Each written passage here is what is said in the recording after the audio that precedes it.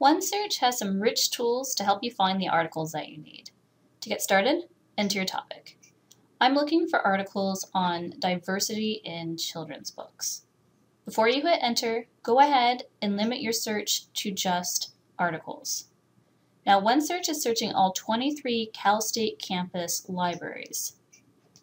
So I want to limit my results to just Cal State Fullerton so that I can do my research as quickly as possible.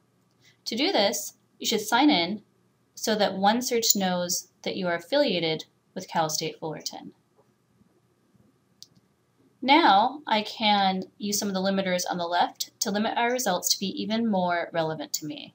I'm starting at 490,000 results, but I'm interested in only peer-reviewed articles, so I'm going to choose that limiter first.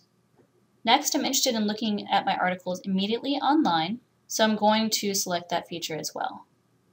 Now I'm down to 110,000 results.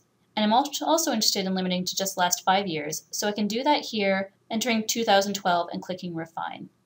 Now I still have 29,000 articles, which is a lot, but my articles look much more relevant to what I'm interested in, and all of these have full text available. So to access an article, you can just click Full Text Available, and it'll automatically bring you down to the section where you can access that article. Clicking on the blue link will bring you to the database that actually contains the article, and from here you can read the article or you can download it as well as a PDF.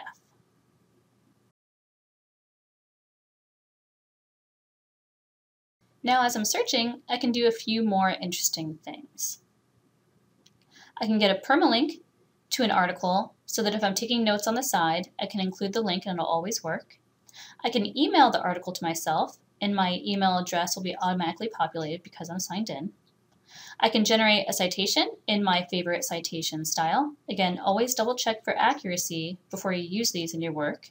And if I'm using a citation manager, I can export this item to my manager. And I can also keep this item. If you click that little push pin, it'll save this article to a folder for you. You can find the folder by going back to your search results page, clicking on My Favorites, and then you'll see all the articles that you've saved. You can also save searches and it'll also remember your search history so that if you can't remember what searches you've already tried, you can go back here and check those out. Ready to start over? You can just click Reset Search and all of your limiters will be cleared and you can start searching for a new topic.